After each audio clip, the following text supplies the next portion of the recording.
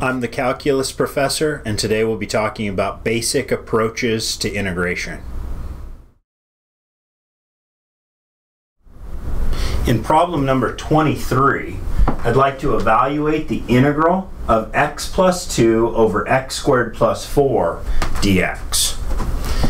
All right, the way that I'm going to tackle this integral is I'm going to split this integral into two fractions because I can split this up over the x plus 2 so I'll have x over x squared plus 4 and I'll have 2 over x squared plus 4 and that should help me. So let me rewrite this thing as two integrals.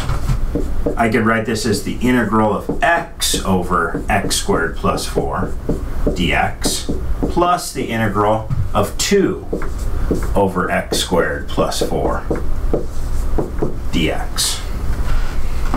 All right, now let's look at these two integrals individually.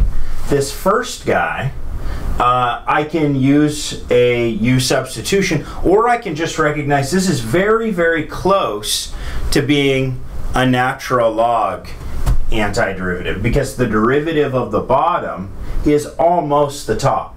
What's the difference? Well, it should be a 2x. So what I'll do is I'll put a 2 up here, put a 1 half right here, and now this is just ln of the bottom, 1 half times ln of absolute value of the bottom, and we're done with that one. Let's look at this one. This one is very close to being tan inverse of something. The 2 is there. I could easily move the 2 outside. And so let's rewrite this as 1 half integral of 2x over x squared plus 4 dx plus, we'll bring that 2 out, integral of 1 over x squared plus 4 dx. Okay, so um, what's the first antiderivative? I said that the derivative of the bottom was the top, and that's a perfect form for ln of what's on the bottom. So I get 1 half of ln, absolute value of what's on the bottom, x squared plus 4,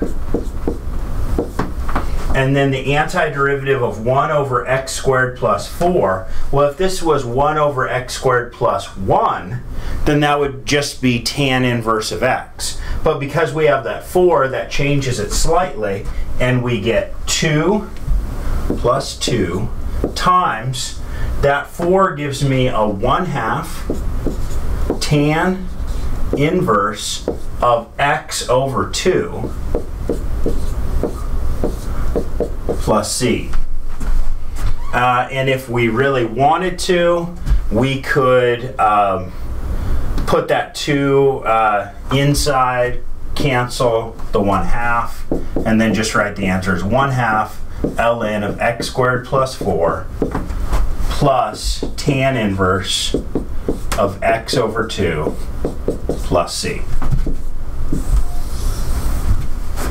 And we're done.